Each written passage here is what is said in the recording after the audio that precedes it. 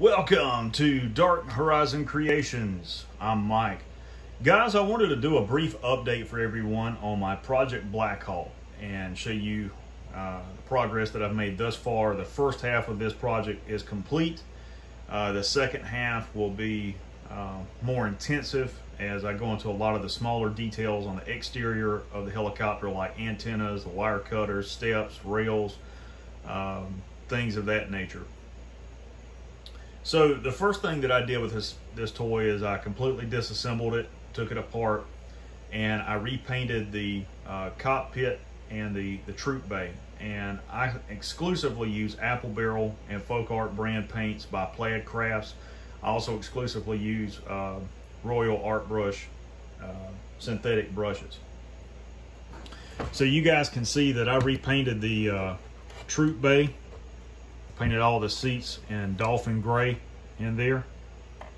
And you can see that I repainted the cockpit all the instrumentation cluster in there controls in the center column. I added flight controls and I just made those out of the plastic uh, guardrails that were included uh, with this set. I just cut them and and made those out of that. The base pad for the cyclic control is actually one of the uh, smoke grenade dispensers off of the uh, Elite Force Naval Special Warfare gunboat. And a little bit of dust there where I was doing some cutting. You can also see I've installed glass in the side doors, the gunner doors, as well as the side doors. And I've left the stop tab in place, and one of the reasons for that is on one set, I cut them off completely.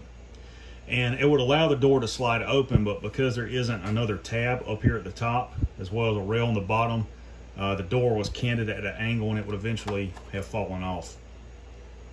On the exterior, you can see that I've repainted the engine intake and I used a uh, Elmer's silver paint marker as well as Folk Art metallic silver paint to paint this part of the uh, engine section that goes into the exhaust deflector. I used uh, uh pavement gray as a uh, base and did the exhaust in, in a gunmetal. I painted the top navigation light, IR markers on the horizontal stabilizer. You can see I've repainted uh, the rotor mast. I've also added pitch links so that it has four pitch links to it. They aren't connected to the base pad, but it still looks, you know, more realistic than it did before when the blades are spinning. Also repainted uh, this section of the blades where the um, defrosters are located.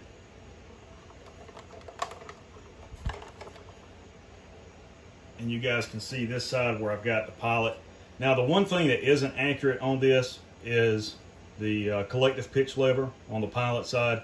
And that's because I didn't have room to put it on the left of his seat next to the uh, center column control. Another problematic area was uh, some of the Gorilla Glue that got on the plastic. I haven't gotten it completely off yet, and I'm just slowly trying to clean it off without damaging the plastic. And you can see I painted the interior of the troop bay as well as the uh, cockpit at pavement gray.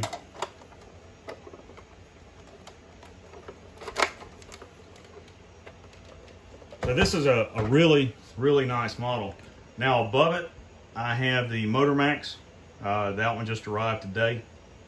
This particular helicopter has opening and closing gunner doors, which means you don't have to do any kind of modification to the fuselage other than adding the weapon stations. And again, uh, I used that boat that you see in the background, the Special Operations Gunboat or SOCR from Elite Force, and I just cannibalized it for parts uh, for the Black Hawk, and I took all the gun stations off of it. So the next thing that I'm going to do uh, is going to be to add the forward mounted uh, electro-optical sensor as well as the FLIR pod on the bottom. And again, uh, I've taken that one off of the, uh, the gunboat to add it onto the helicopter. I'm also going to be adding the side rails on here, a wire cutter here and here, as well as a step for the pilot and co-pilot.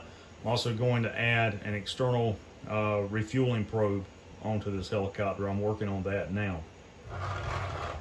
I'm trying to source parts to use for the uh, chaff and flare dispensers to go on either side of the tail boom. But you can see this this is a really nice toy, really nice helicopter. You know, in my opinion, it's just as nice as the uh, BBI, Elite Force Blackhawk. The only difference is in the two helicopters really is the uh, length of the tail boom on the BBI helicopter is uh, to scale. Uh, it's almost twice the length of this. And then, of course, you have a lot more uh, accurate detailing done to the toy, but it's also much more fragile. And I can tell you for a fact that this plastic is also fragile. I've broken two of these during this whole process of trying to customize this helicopter. This is my third one. Uh, so I had the interior done and I broke the second one and you know I had to order a third one to to complete it. And you know the the counterbalance I couldn't get that to spin with the rotor mast, you know, without the blades coming off. So I just repainted the counterbalances and I left it in place.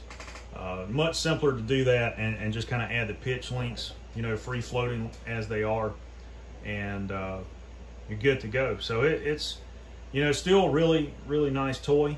You know, I think I did a pretty good job on it, you know, with what I had to work with. And uh, as I go along, I'm going to make, you know, more modifications to it. The one thing that I wanted to add in the first half of this uh, custom that I wasn't able to add was the ESSS uh, support mounts here on either side of the fuselage. I just wasn't able to find anything the correct shape or anything that I can modify. And I will tell you that without a rotary tool, uh, this custom is impossible.